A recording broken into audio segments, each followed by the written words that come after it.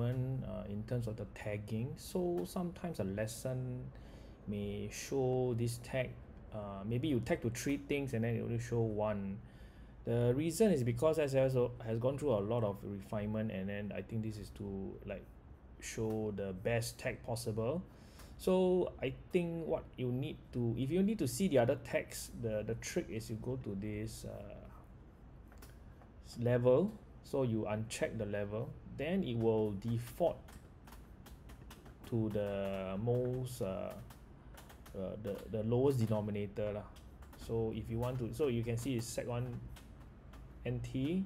but I think it's also possible to see sec 1 express or sec 1 is there a normal normal sec 1 normal acad so if you select a sec 1 normal acad then it will show as if it is tagged correctly it will show as sec 1 normal acad so the, the tagging is perfectly correct lah